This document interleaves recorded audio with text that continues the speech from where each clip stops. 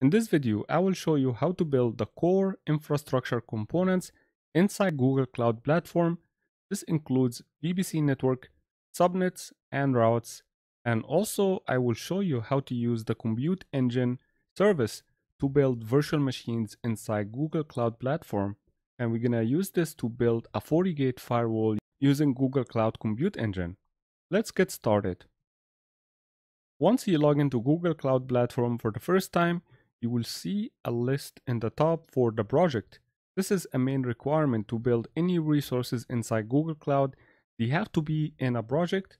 So as you see, I have my first project, which was automatically created.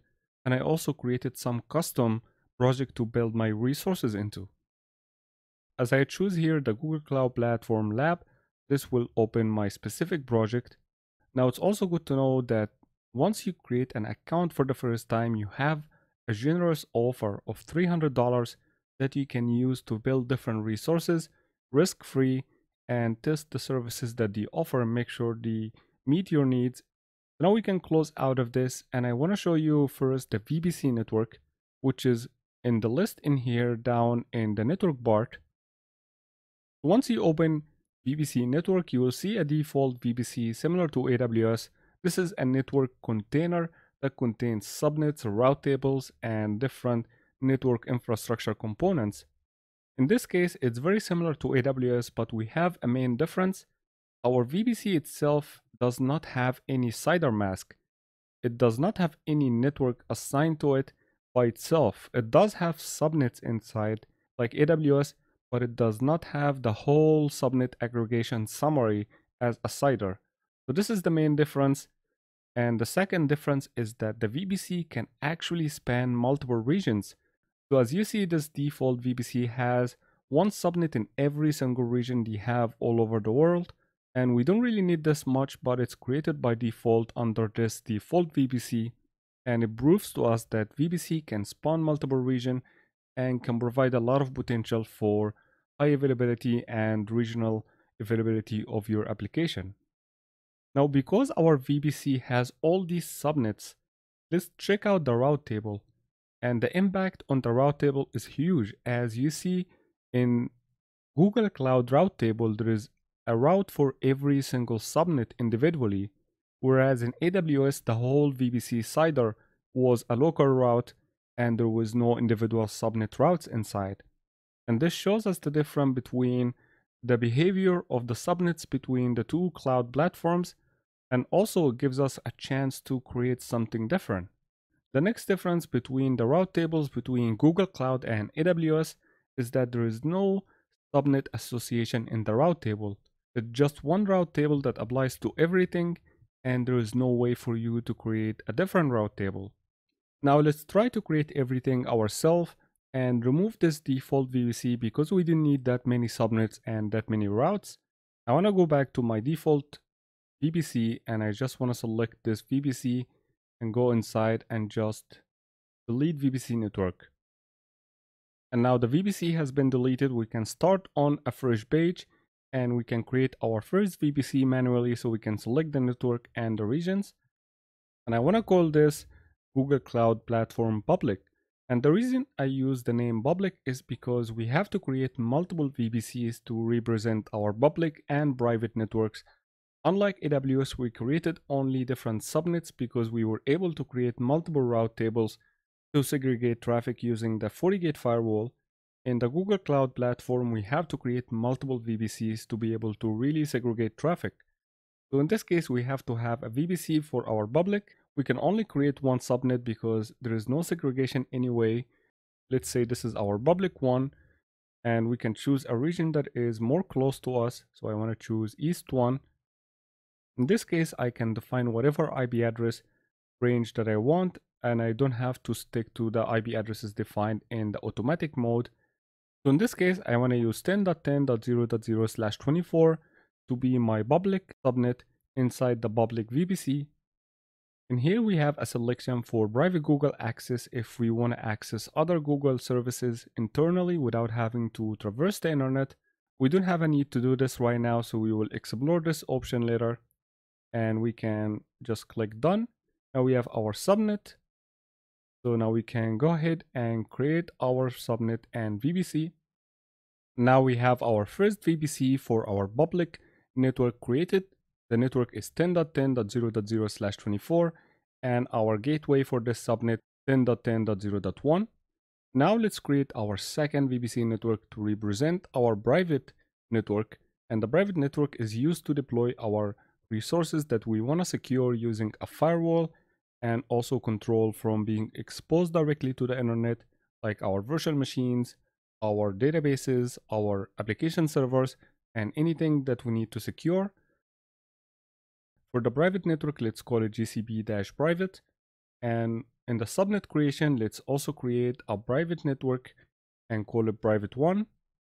Let's also put it in the same region to make sure the firewall will support both our subnets and both our VPCs. And finally, we need to define a unique IP address range for this network. So let's use 10.10.10.0 slash 23. So this network is bigger than the other network and it will help us support more virtual machines and more resources inside this region. And finally, with our one subnet, let's create our second private VPC. And now our second VPC has been created as well.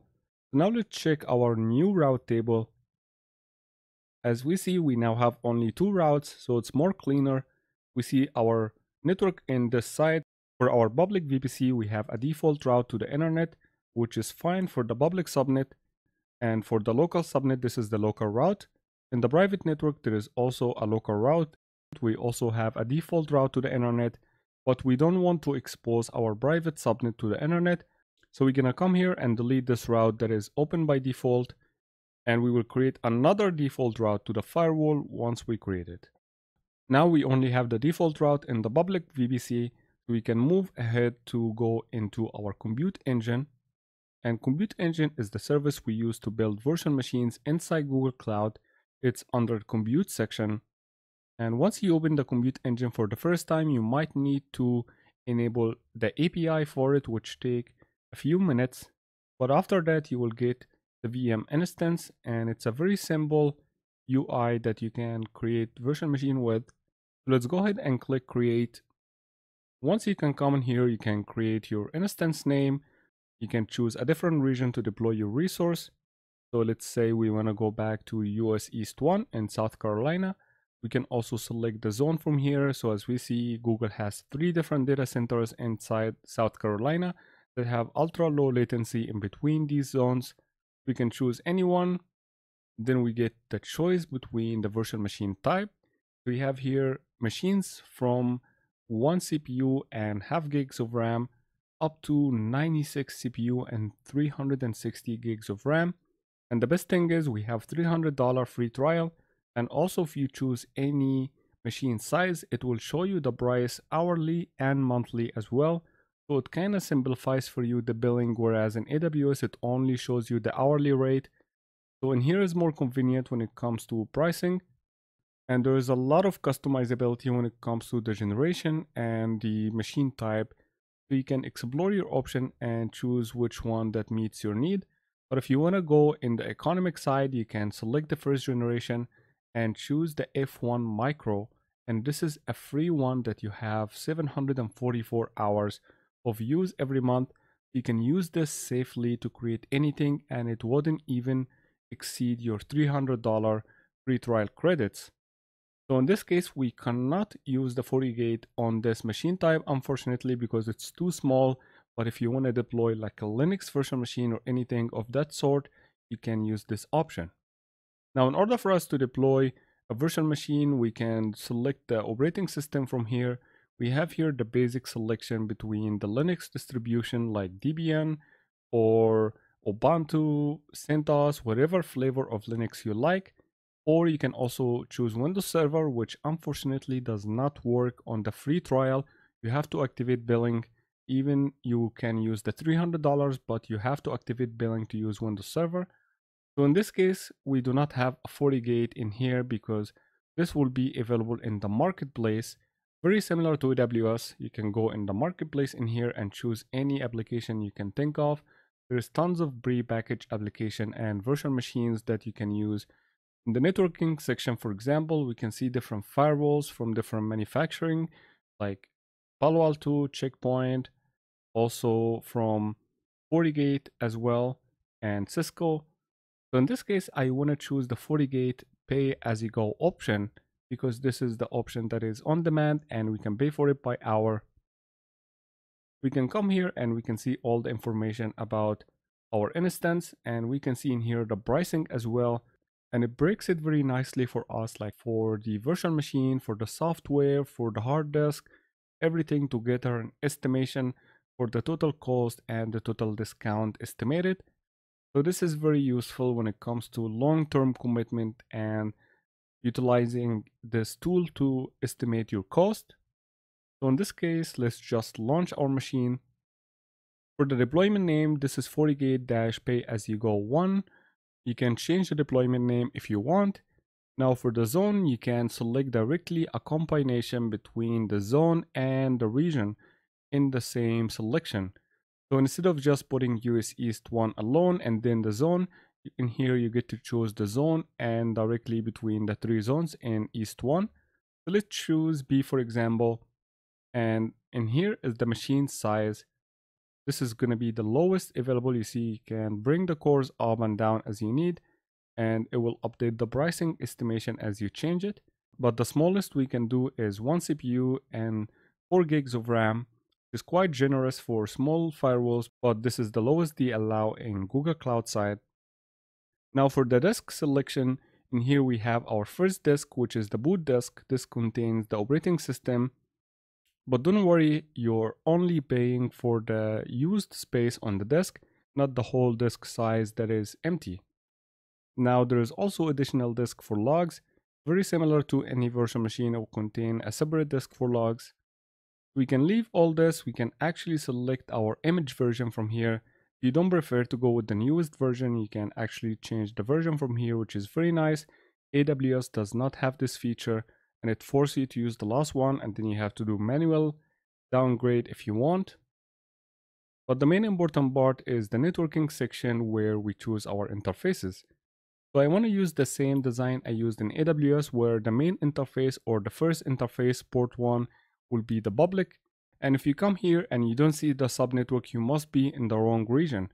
So let's go back and change our zone from this one to US East 1 and this way if we go down our subnet will appear so now we have our main interface in public one external IP is the IP that we have on the internet or the elastic IP equivalent so we can have our external IP to manage the firewall and then we will get the firewall rules which are the security group equivalent on AWS this will allow us to SSH to our firewall or HTTPS or even ports related to FortiManager use so we can leave all these open. There is no issue with that, but we need to create a second network interface to be able to segregate our traffic. And it already selected our second VPC as this is the other option. And it also selected the only one subnet in there. We don't need public IP address on this subnet. In fact, the private subnet doesn't even have a route to the internet, so that will be a complete waste. We don't need anything else, we just need the second network interface and now we can deploy our firewall and this will start the deployment manager, which we can see has a multiple step or like a workflow to create this instance from creating the virtual machine, creating the additional disk, generating a password for the firewall, and opening each port on the firewall separately using the Google API. So it's showing you every step in this process and very quickly was able to already generate a public IP address and the user login to the firewall we can try to open the URL for the public IP and then this will take us to our FortiGate login screen for the first time. We can then use the temporary password that was provided in here to quickly get access to the GUI.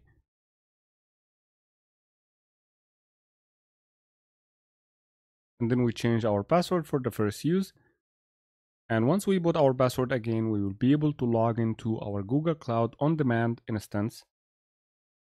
We see our WAN IP in here and we see we are using version 6.4. Now let's check our network interfaces. In here we see our two interfaces, our public subnet and our private subnet. So now that our firewall has been created, let's go back to our VPC network so we can adjust our routes. In here, we can just go into our VPC network routes. So in here, we need to create another default route to point to our firewall in our private network. So we're going to click create. So I want to call this private default route. And for the VPC, we're going to choose our private VPC. It's already selected. In here, we're going to add our destination IP range for the default route, which is 0.0.0.0 slash 0. And now we can change the next hop from the default internet gateway because this will allow us to go directly to the internet. We want to change it to an instance or an IP address. So let's choose an IP address and define the private interface for the firewall and the private subnet. So if we go back to our firewall under network, interfaces, from here we can grab this IP address. This will be our gateway and we can go ahead and specify this IP address as the next hop. And now we have our private default route inside our Google Cloud private route table. So now we have everything we need. So now let's go back to our virtual machine instance inside Compute Engine.